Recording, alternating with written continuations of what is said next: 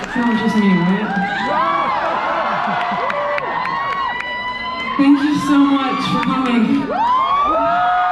This is a really uh, symbolic show for me, actually, because this was uh, the last Philly show that my band Chairlift ever played was here. And now this is the first Caroline Polachek show in Philly.